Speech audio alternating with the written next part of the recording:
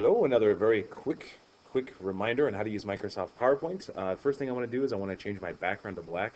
That way it doesn't uh, detract from the pictures I'm going to put on or the images I'm going to put on for my visual story.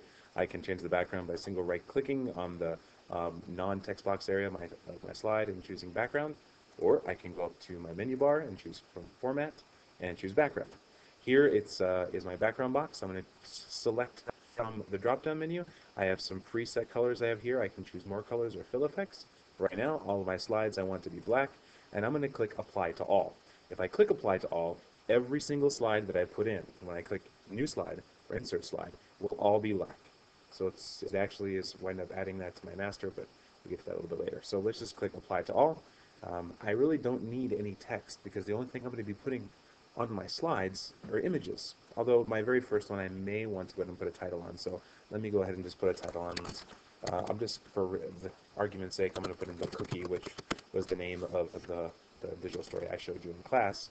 So I'm just going to go ahead and highlight the cookie, change the font style to white, and now you can see that I can see the white text on my black background.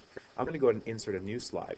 Now, I don't necessarily need these default text boxes that, uh, that appeared in the slide layout, so I can just go over here into my content layouts and I'll just click on blank.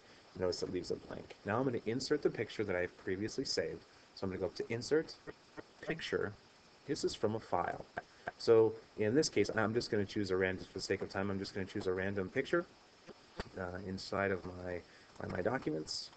Um, I'll choose, for example, our school logo.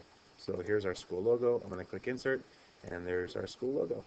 And uh, from there, it's not a very good one, but at least there it is, and I can resize it from there. So that's how you insert a picture, change the background inside of Microsoft PowerPoint.